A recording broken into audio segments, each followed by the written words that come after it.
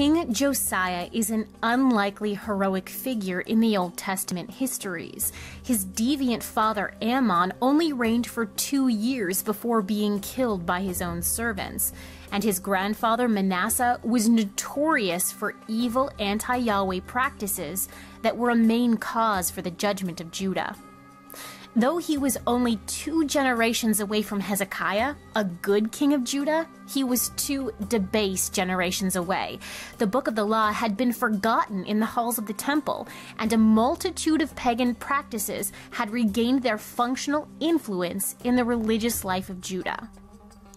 Second Chronicles 34 tells us that Josiah was set up as king when he was 8 years old, that he began to seek the Lord when he was 16 and began to cleanse the land of pagan practices when he was 20. Then, when he was 26 years old, he began to repair the Temple of Jerusalem, propelling the nation into a new time of cleansing and reform when the law of Moses was found. While Josiah receives one of the few glowing reviews by the writers of Kings and Chronicles, his violent death seems out of place and rather unexplained.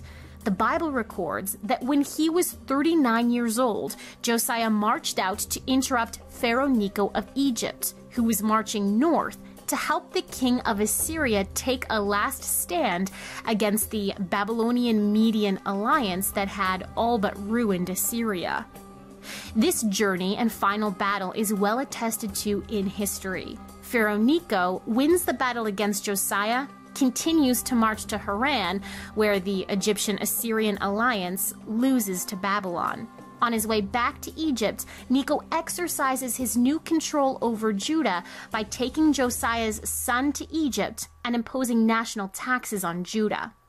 The death of Josiah in his confrontation with Necho brought the loss of Judah's independence as a nation.